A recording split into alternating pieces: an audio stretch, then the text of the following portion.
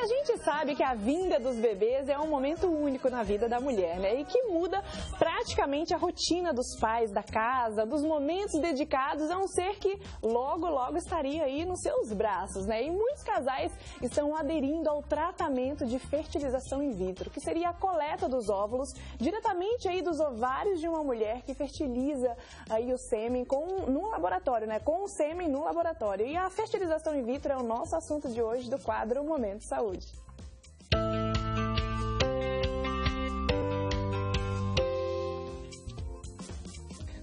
Bom, e quem está com a gente hoje é a médica ginecologista e obstetra, especialista em reprodução humana, doutora Silvia Jolie, do grupo Seibin Medicina Diagnóstica, que ela é uma parceira também do Seibin, vai tirar algumas dúvidas aqui sobre fertilização in vitro e qual é a eficácia desse procedimento, não é mesmo, doutora? Seja muito bem-vinda, boa tarde. Obrigada, é um prazer enorme estar aqui, viu, Débora? Que delícia, doutora. Explica pra gente, aquela, aquela pergunta, né, que geralmente muitas pessoas têm, qual que é a diferença da da fertilização in vitro para a inseminação artificial?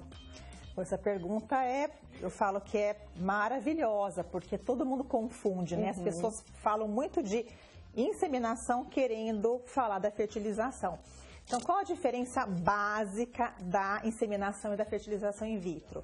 A inseminação artificial é um procedimento simples feito no consultório, onde a fecundação acontece dentro do corpo da mulher.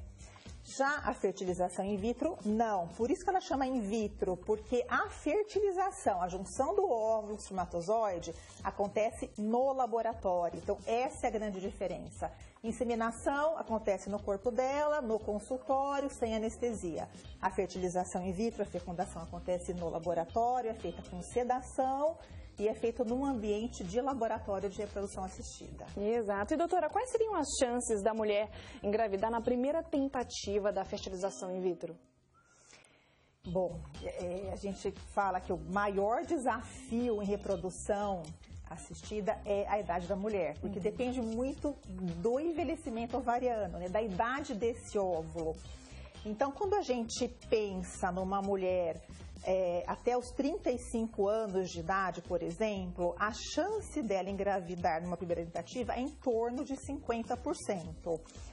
Agora, quanto é, vai passando, os anos vão passando, a mulher perde muita quantidade e qualidade dos óvulos. Então, esse número se reduz entre os 35 e 40 anos, se reduz para 30, 40% e após os 40 anos, isso vai decrescendo a, de uma taxa de 20% ou menos.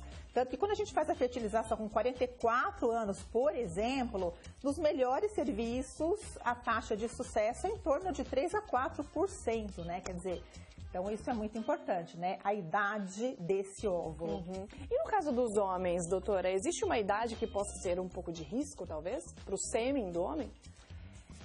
Até um tempo atrás se falava muito dos 50 anos, né? Depois dos 50 anos, é, o homem perdendo bastante é, capacidade né, de motilidade, concentração de sêmen e hoje tem alguns estudos mostrando que isso pode acontecer a partir dos 40. É claro que isso é, se perde muito também com, com, com alguns fatos de qualidade de vida, por exemplo, o homem que é fumante, que eh, usa álcool, sedentário, obeso, isso vai causando, aumentando o estresse oxidativo, aumento de radical livre, e isso vai prejudicando muito o sêmen também. Uhum. E você falou também, doutora, sobre a idade da mulher e a gravidez tardia, ela pode interferir também no, no tratamento, por exemplo, nas primeiras semanas da gestação da mulher? Olha, se, é, é, na gravidez tardia, é, é, o que a gente fala, o, o, o mais difícil é engravidar, uhum. né? Esse óvulo ser bom o suficiente para ser fertilizado ou até uma, um óvulo doado, né? Então, nos primeiros meses, isso não tem importância se a gente consegue suplementar essa parte hormonal e consegue que é, esse útero tenha é, a quantidade de hormônio suficiente para manter essa gestação. Uhum. E doutora, durante a menopausa, por exemplo, a gente sabe que as mulheres né, de uma determinada idade, ela já está na menopausa.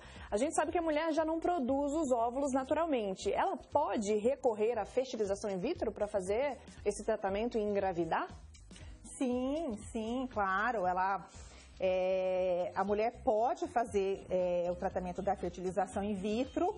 É, quando ela está na perimenopausa, no climatério, é, é, ela ainda produz alguns óvulos.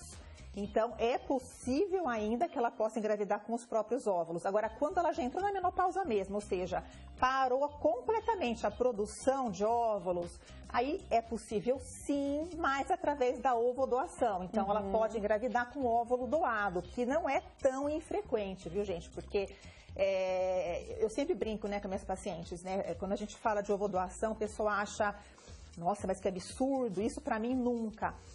Mas as pessoas que engravidam por ovo doação não comentam. Não é uma coisa que uhum. você sai comentando, né? Uhum. Engravidei com óvulo doado. Então, por isso que acontece bastante sim. Exato. E doutora, é. tem um limite de tentativas da mulher, por exemplo, o casal que quer aderir ao tratamento de fertilização in vitro, eles têm uma tentativa de quantas tentativas que, pode, que a mulher pode fazer?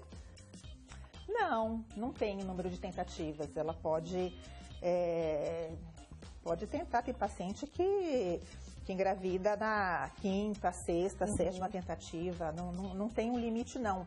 Agora, o que é muito importante quando passa da primeira, segunda tentativa, é a gente fazer uma boa investigação, né, de do embrião e do endométrio, porque é, eu sempre falo, para engravidar, para aquele, para aquela, aquele tratamento dar certo, tem que ter uma conexão perfeita de um embrião ótimo e um endométrio ótimo. Então, a gente, quando não dá certo, é importantíssimo, que a gente chama de falha de implantação, é importantíssimo que a gente pesquise é, é, essas, essas duas situações, embrião e endométrio, para uhum. tentar corrigir o que, que não está acontecendo naturalmente. Exatamente. E no caso de uma tentativa que não deu certo, doutora, existe uma pausa para a próxima? Existe um período aí que a mulher precisa dar aquela descansada para poder tentar a próxima, o próximo tratamento? Olha, essa pausa é basicamente é, promocional, psicológica, porque a gente poderia já no mês seguinte fazer uma outra tentativa. É que muitas mulheres, inclusive muitas mulheres abandonam o tratamento né, por conta de uma falha, de um teste negativo. Às vezes a mulher até tem embrião guardado, mas desiste. Então é, é uma coisa que mexe muito com o emocional. Então, fisicamente não teria problema nenhum. Uhum. E doutora, eu estou sabendo também que você faz parte né, de um grupo de mulheres também. Conta um pouco pra gente. Sim, sim. É um grupo de mulheres chamado AMCR, Associação Mulher, Ciência e Reprodução Humana do Brasil.